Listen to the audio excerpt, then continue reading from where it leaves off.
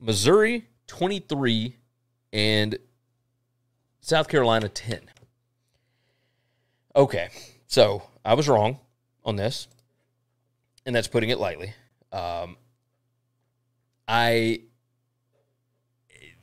South Carolina has problems. Uh, we'll say that. We'll go on and pull up the uh, the expected points and the win probability and all that good stuff. South Carolina's offense, Spencer Rattler is not good at all. Uh, and yes, I know that we've talked about this for forever and ever, but like he had actually started to show a little bit of signs of improvement. But so many missed passes that I watched in this game, overthrows, threw the ball behind receivers, threw it where there was nobody multiple times. I mean, it was just nuts. And and then of course, if there's no threat of a passing game at all, of course Missouri's going to be able to stop the run because they've got a pretty good run defense. Like they absolutely have a good run defense. And on top of that, look, I, I got to give props on this. Uh, let me pull up the stats here. Brady Cook was awesome. 17 out of 26, 224 yards. Like he was rolling in the first half. Um, Missouri had two uh, rushing touchdowns, like one from Cody Schrader, one from Brady Cook. Brady Cook, 11 carries for 53 yards in this spot.